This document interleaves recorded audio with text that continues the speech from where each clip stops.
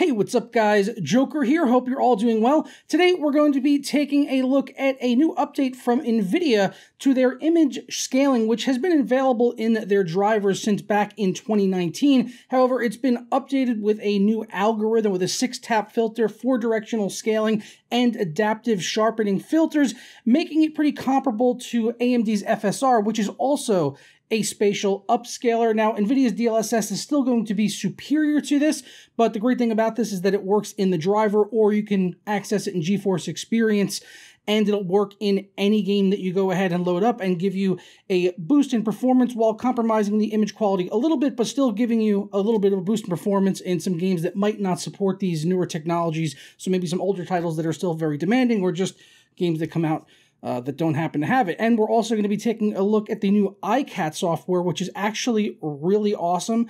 It allows us to look at not only just images, but videos in a real time side by side comparison with a slider that's very interactive. And I'm going to show you everything kind of in real time there so you can kind of see that there's no shenanigans going on or anything and it's really cool from a content creator's perspective but it's also something that people will be able to use just to compare image quality on their own maybe in a game that has you know fsr and dlss and you know see what's going on with all of that. So let's get fired right into it. But first, today's video is brought to you by SuperCDK.com, where you can save money on games for all of your favorite platforms, as well as software like Windows 10 Pro for just $19.50, and then you can unlock the prestigious dark mode on Windows 10 and uh, take advantage of that. I couldn't live without it.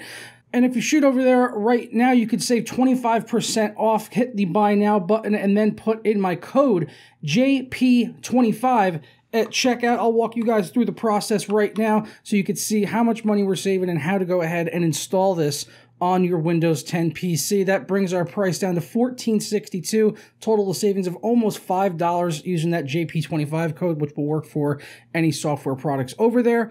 Once you're done with that, go ahead and click on Submit Order and select your payment mode of choice, which me personally is PayPal, and then I'll go ahead and complete the checkout by clicking on Pay Now. After completing the checkout, it'll bring you to your purchased order page and it will update in a matter of seconds or just go ahead and hit F5. Go ahead and do that one time. It came through literally immediately. I got the payment email that it had gone through and the delivery of the product exactly at the same time. Once you're done with that, go ahead and click on view keys and codes and we'll get our code right here that we can go ahead and copy and paste in on Windows 10 by hitting the start button and type in the word activate. When you see that activation settings or see if Windows is activated, go ahead and click on that and it'll bring up this right here and click on change your product key or unlock Windows 10 as I already have Windows 10. I obviously don't need to put in a new key, but just paste it in and then go ahead and click next and you are all done and set. For more information on supercdk.com as well as the coupon code, be sure to check out the links down in the description below. So you guys have seen me do multiple videos and stuff testing, comparing FSR, DLSS, talking about the image quality and stuff like that, which has gotten a lot better uh, over the past few years. So we're going to be jumping in right now. We'll be taking, first we're going to take a look at some FSR and DLSS comparisons in games that actually offer both technologies, which is only a, a small handful of games uh, that actually have FSR as well as DLSS. So th there's a few games that have it now, so it's nice that we can compare them. And using this new ICAT tool, actually makes it super easy and just really good for you guys, honestly, at the other end uh, to benefit for, from it. So I'm going to go ahead and jump in in real time.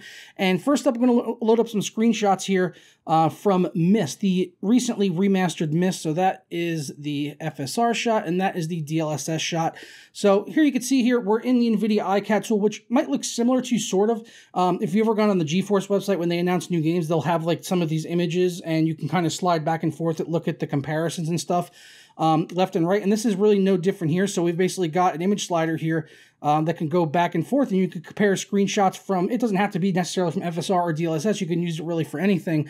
Um, but for a content creator, this is going to be really cool for the future for showing you guys image comparisons. So uh, in this first scene here on Myst, like I noticed zooming in on like these trees, um, this was really like one of the st most stark contrasts. And this is how cool this thing is. Like, like I said, this is all real time and I could just zoom right in. I could then pan the image around whatever I want.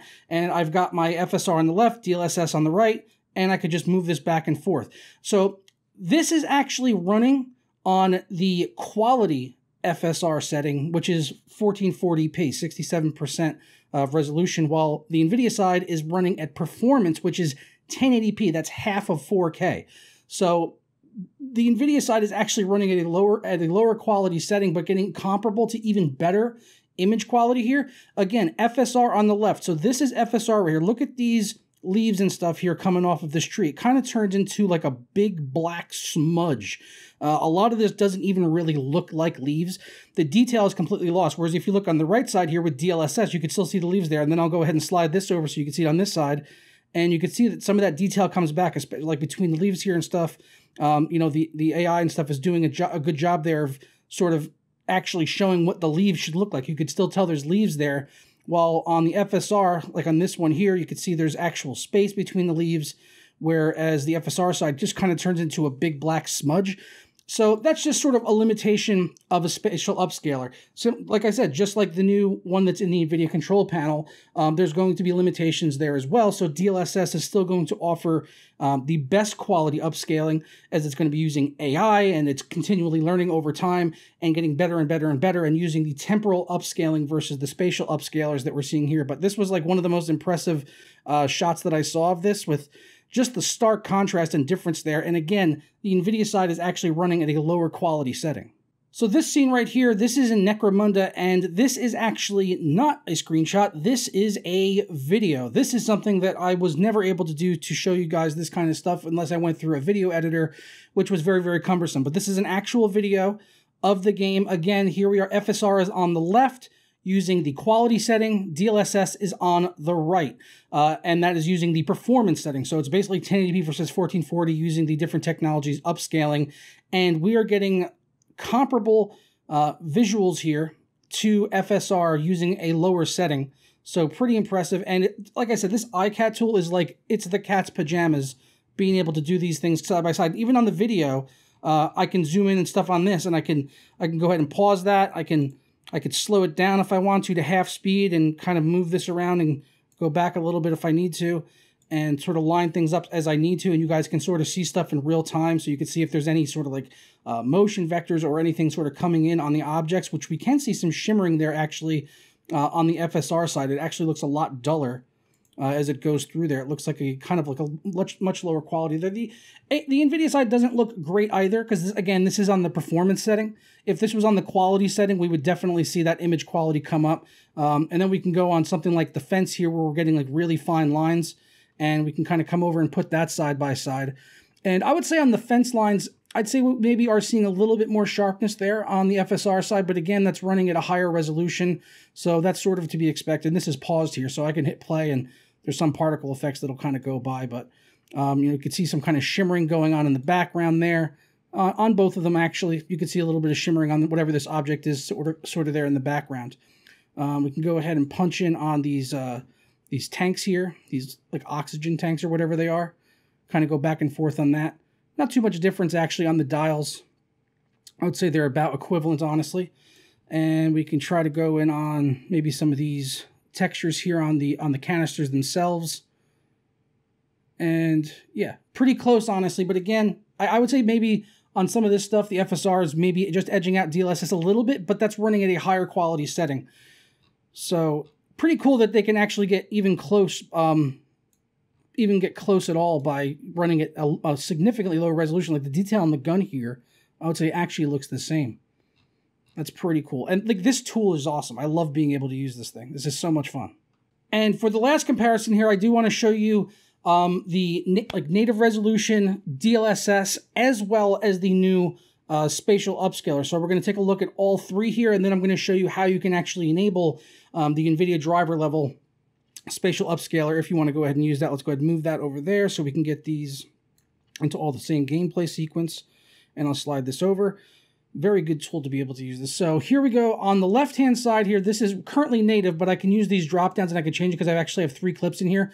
Um, it would be cool if we could put three side by side or even four or whatever, but it does seem to be limited to two, at least as far as I can tell. We could also do a side by we could do a side by side like this, uh, not split screen actually, and you can do uh, a few different ones, but you know you kind of and then you can kind of zoom in there. So actually, yeah, that actually works really well. I didn't use that. The, the only difference is I can't do a slide on this. Um, so that's really the only sort of limitation there. But we can go back to the split screen here. And we can see that native side and then spatial upscaling on the, on the right, which is set to 77%, uh, which is actually, let me check my reference, 2954 by 1662. So we're at about 77% resolution there, native versus spatial. And we'll get in, in on some of these fine details here. Uh, and you can see it is at native, it's definitely a lot better on these on these like fine mesh here, or this metal fencing or whatever whatever this is, some kind of metal panel. Uh, very very fine detail on that. We'll kind of move over here, and the native is definitely going to be a lot better. We move over to the spatial, and you can see it definitely gets quite blurry. But you know this is something that'll be available in any game, so you can put it on something older. Uh, I'll go ahead and compare with DLSS as well now. So now we've got DLSS on the left and the spatial on the right, and you can see it is significantly better.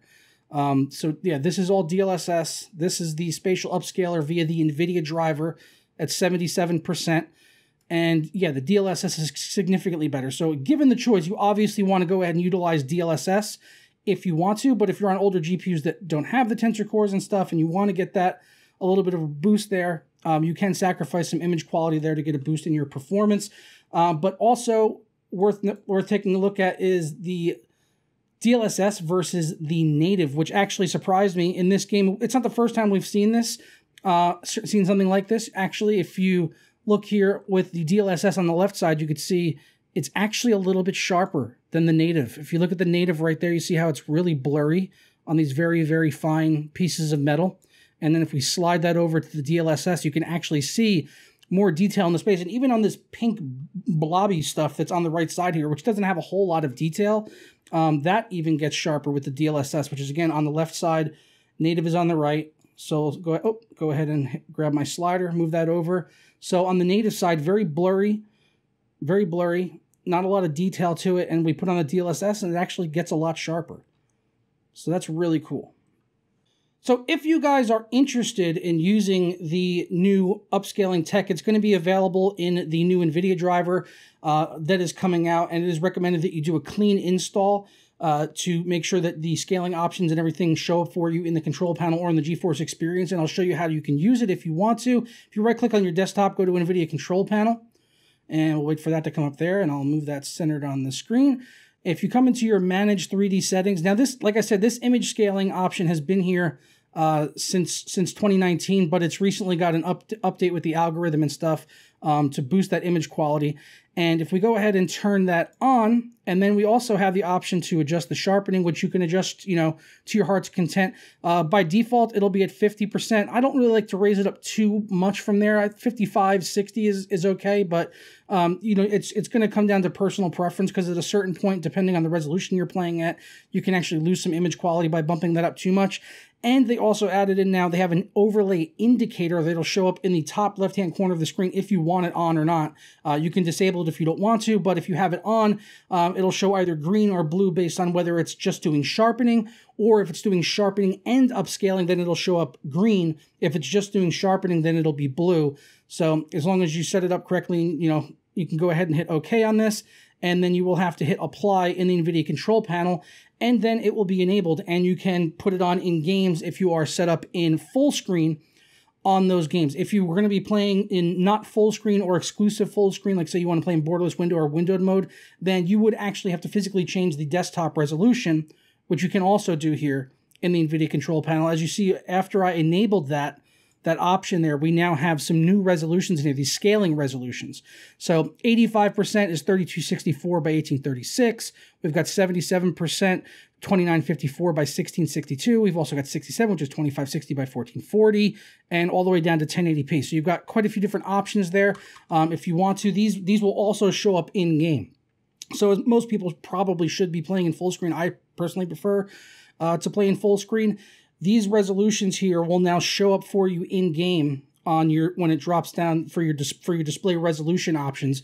And then all you have to do is go ahead and select that and it'll upscale and sharpen the image accordingly give you a boost in performance and hopefully not hit your uh, visual you know quality too much on there.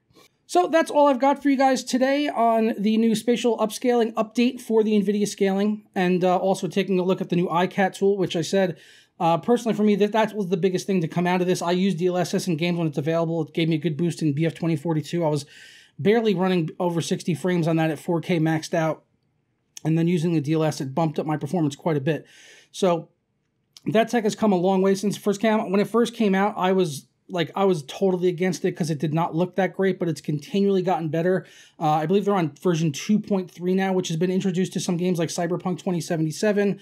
Uh, I believe Doom Eternal uh, got that update as well, and it's you know continue continuing to learn and get better over time. So the more games that get it, it's just going to keep improving over time, and hopefully at some at some point it's just going to be it'll look ba- it basically like we, we saw with uh, with Guardians of the Galaxy there, it, comparing the DLSS versus native the DLSS looked better. And we saw that back in, in Death Stranding as well. When I back when I, I tested DLSS in that, um, that game looked significantly better with DLS. Like there were certain details like text and fine things on the character model and in the world that without the DLSS it was pretty illegible. And the AI algorithm, which is which basically just how I guess they made the game. I don't think any resolution really would have solved that, but I think it's the AI actually figuring out the way that it should look and sort of sharpening it up there and giving it, um, you know, a better look, honestly, at the end of the day. So uh, this is all really cool stuff. I look forward to using the ICAT tool in the future for uh, new games and stuff that are coming out. So be on the lookout for that as we do more game comparisons and everything here on the channel. And I will catch you guys next time. Have a fantastic day.